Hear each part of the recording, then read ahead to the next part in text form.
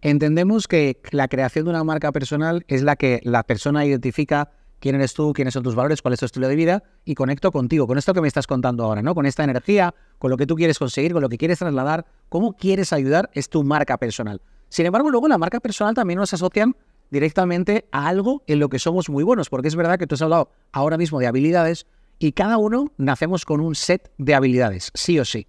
Luego lo que pasa que dependiendo de qué mentalidad tengas, qué ganas tengas, qué hambre tengas y todo lo que quieras conseguir, te vas eh, añadiendo al set nuevas habilidades, nuevas habilidades. Y en este caso uno puede no enfocarse en nada específico, pero siempre, aunque tú hagas bien muchas cosas, nunca puede ser alto, guapo, rubio, Ferrari, ¿no?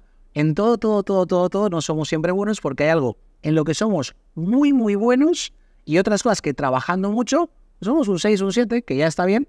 Yo, por ejemplo, siempre se me ha muy bien pues desarrollar, crecer y vender. Sin embargo, administrar, pues se me ha dado menos bien. He tenido que aprender a hacer un 6, un 7 para que sea correcto. No quiero ser un 10, me da mucha pereza en este caso. A mí esa parte, no quiero ser ahí. Pero bueno, sé que es una parte importante a trabajar. Sin embargo, cuando hablamos de marca personal, también hablamos de que se te une a algo especial, a un área de genialidad, a algo en lo que tú intuitivamente eres bueno o buena en este caso, ¿no? Entonces, hemos hablado antes que es importante entender que también para crear esa marca personal te tienes que especializar, que también eso te ayuda a crear más valor, a dar más precio, a organizarte de otra forma. Y es algo que tú has trabajado y que justamente si alguien piensa en ti ahora, en algo, pues te relaciona con una especialidad, ¿no?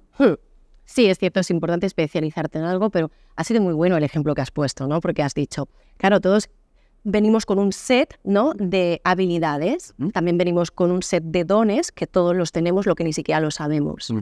¿Qué pasa? No lo sabemos porque, porque nos van diciendo de pequeño todo lo que es perfecto, que es lo que tú has dicho, rubio, alto con un Ferrari. Para ti o para la sociedad, por el estándar que nos han marcado, eso es lo perfecto. Pero para... Es un poco ochentero, pero bueno. No, no, no. Para mí, por ejemplo, no sería lo perfecto un rubio alto con un Ferrari. No por nada. Va, con la persona. Se me dicen que es un tío como más ata, ¿vale? Pero ¿qué pasa? Que nos dicen que lo perfecto es eso. Entonces ya empezamos, crecemos con la creencia de que lo perfecto es eso. Y lo que yo tengo no lo es. O es un 6 ni siquiera sabemos si es un 6. Nos han enseñado a ponernos etiquetas de pequeñitos, eso es un 6, eso es un 5, eso es un 9. Todos somos un 10, tío. Todos somos Ferraris. Lo que quizás tú te crees que eres un panda. Y entonces vas con un Ferrari, con la primera marcha, con la segunda marcha, y no le das gas porque crees que eres un panda y vas a gripar. Pero es un Ferrari. Lo que no sabes ni siquiera las características como coche que tienes. Y yo creo que, o entraría más en profundidad, ahí. Todos podemos especializarnos y lo que vemos en otras personas podemos hacerlo. Claro que la especialidad es súper importante en una marca personal porque yo puedo decir ahora que soy maquilladora también, que estuve en la peluquería y yo nunca vendía los cambios de look, nunca vendía que hacía muchos tratamientos de creatina. De hecho, yo hago recogidos, pero lo que más hago es marketing, mentalidad, porque es lo que estoy vendiendo constantemente una te Gusta, te gusta, lo vives y te gusta. y no muestro tanto. ¿Qué es lo que yo muestro? La especialidad, en que los recogidos, porque, porque es mi negocio, va ahí. Y porque mi producto está ahí. Claro, sin embargo, lo estamos hablando, ¿no? Que tú, por ejemplo, estás un día haciendo la técnica de recogido, sin embargo estás cuatro o cinco días creando el servicio, creando el proceso, intentando garantizar al máximo el resultado, el proceso de venta. Atender a mi cliente, atenderlos. Entonces, lo que tú decías, ¿no? De la especialidad, qué importante es. Claro, a veces queremos ser bueno en todo. ¿no? Es como, yo quiero ser buena en barbería, quiero ser buena haciendo maquillaje, quiero ser buena haciendo un recogido, quiero ser buena eh, con el secador de mano y, con la plancha también. Quiero ser buena en No puede ser en todo, pero hay que ir enfocándote poco a poco en diferentes etapas. Yo soy partidaria de coge aquello que hagas más desde el amor, que te guste más, porque vas a ser más feliz haciendo eso.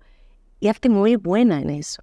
Digo muy buena, siempre tengo la manía de hablar en femenino y es verdad no que estás ahí, pero es, es ahí. ayuda. Vale, entonces coge aquello en lo que realmente te vibre, te nazca y seas feliz haciéndolo y practícalo mucho y fórmate con el mejor y luego trabaja una marca como tal, pero siempre de qué me gusta a mí, en qué me encanta hacer. Y a partir de ahí, especialízate, porque vas a ser muy bueno haciendo eso que te gusta y te va a ir muy bien, porque vas a tener un mayor resultado para tu cliente y obviamente eso luego se devuelve con qué, con al fin y al cabo con autoridad, con posicionamiento. Si tú estás posicionado como marca, obviamente vas a facturar más, pero porque también habrás tenido que hacer unos trabajitos que sin querer también te valoras más. Total, al final la facturación es una consecuencia de, un trabajo hecho por detrás brutal. Primero, eh, de dar un súper servicio al cliente e intentar garantizar al máximo el resultado. yo creo que todas las personas, las peluqueras que están en su negocio quieren garantizar que el corte quede perfecto, que el color quede súper bien, que el recogido quede perfecto. Tú en la formación y en lo que tú haces quieres garantizar que luego de forma sencilla y útil lo trasladen a su negocio y les haga crecer, que las ideas que tienes en la cabeza de cómo no limitarte y que no haces con un 10 y que eres un Ferrari, se lo crean desde el primer... No, pero es que está muy interesante. Esto yo nunca lo he dicho, obviamente, porque hay una... Pero- no, pero, pero- es que pero- es el pero- concepto, lo que yo creo, lo que yo siento. Bueno, está, está muy guay porque fíjate, lo has contado del final para adelante. Porque necesitaba ahí todo lo que me habías dicho, ordenarme para contestar y de manera rápida, porque sé que esto es Instagram, entonces era como decir, ¿cómo? No, pero, pero ha estado súper bien porque siempre hablamos del cómo puedes llegar, a, digamos, a ser un 10 en general, y sin embargo lo has trasladado al, al contrario y me ha parecido muy interesante porque dices, oye, tú naces con el 10. Tú sabes que yo explico una cosa, que yo soy una persona muy confiada, muy, muy confiada. No digo confianza de autoconfianza, que también, pero fuera de mi seguridad y mi autoconfianza, soy una persona que confía enseguida en las personas. Y no me gusta no confiar, me encanta confiar y hay gente que me dice, una mujer me dice, es que tú confías enseguida y enseguida ofreces el negocio a cualquiera. Y digo, ¿ya? Digo, es que yo siento que... Yo digo, es que si yo siento que si realmente luego no acabo haciéndolo, pierde la otra persona. Digo, yo no pierdo. Digo, Yo no siento nunca que pierda. Entonces, esto es lo mismo que tú acabas de decir. Yo te doy toda la confianza y luego se lo puedes perderla. Porque yo te he dado toda. Pues esto es lo mismo. La vida te da un 10, tú has dicho, oye, la vida te da un 10. Y solo puedes ir perdiendo puntos si no te dan las oportunidades necesarias. Me ha molado mucho. Me ha, me ha molado. Sí, a ver, a veces no te das la soporte. No las tienes o circunstancias. Está claro que pasa. Sin querer, nuestros padres con todo el amor del mundo, pues, o, o la sociedad, no, no, nena, en la mesa no, cállate, no, no digas lo que piensas, o calladita, es que calladita estás mejor, ¿no? Es que no hagas el ridículo que la gente te escuche, lo que... Entonces, ¿cómo te vas a enfrentar a una cámara a decir lo que sientes si te han dicho siempre que eso, que, que no digas tonterías, ¿no? O cómo vas a ser creativa si en el colegio te han obligado a hacer todos lo mismo con el mismo color. Es Tú, tú- tú sabes que esto es curioso también de pensar porque hay, mucha, hay mucho contenido detrás de todo esto. Quiere decir, eh, las personas, está demostrado que el cerebro puede aprender hasta el año que te mueras. Quiere decir, hay, hay gente que dice, tú aprendes de pequeño una serie de cosas y es cuando más aprendes. Es verdad que el cerebro es más plástico en esos momentos, sin embargo está demostrado que una persona, da igual que tenga 50, 60, 70, 80, que aprende exactamente igual. ¿Sabes lo único que condiciona el aprendizaje y que da miedo a las personas a largo plazo y lo que tienes de pequeño que no tienes de mayor? Lo único que tienes es que cuando sociabilizas tu miedo social a cagarla, ejemplo, si yo soy un niño y voy corriendo y tal, voy a pegar al balón, no le doy y me caigo, el niño no tiene ninguna vergüenza y realmente vuelve y sigue y vuelve a aprender.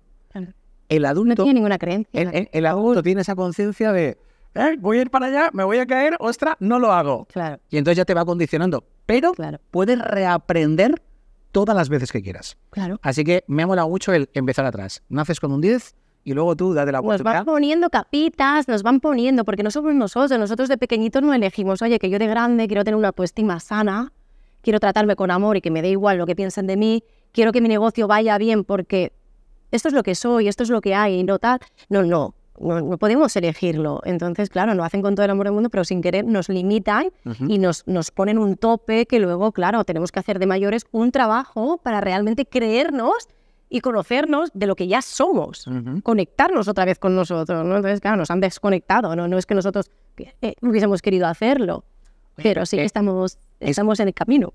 Sí, sí, sí, total. Además, es que, además contra más vas avanzando, más trabajo interno haces, ¿verdad? Como persona.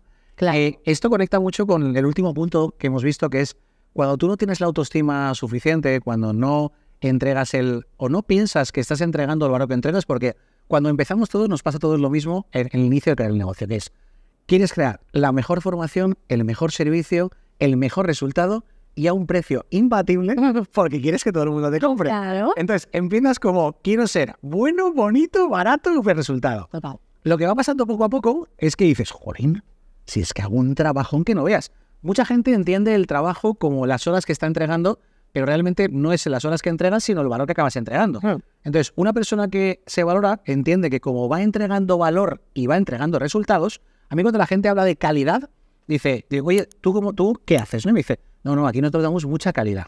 ¿Y qué es la? Claro, ¿qué es para ti la calidad? Entonces, yo relaciono calidad con resultado. O sea, yo tengo súper relacionado calidad, resultado, porque para mí no puedes decir que das calidad, pero que luego el resultado de tu recogido, de tu corte, de tu servicio, de tu venta, de lo que sea, no da un resultado. Y que la claro- calidad para cada persona será una cosa diferente. No, claro, pero bueno, O pero un resultado, pero- porque para mí un resultado de un recogido puede estar medio bien. Yo cuando empecé que los recogidos estaban muy bien, ya los veo y digo, y tu hija de Dios te ibas a hacer una novia súper orgullosa con estos recogidos. claro. Y ahora lo veo, entonces, la calidad está un poco ahí, pero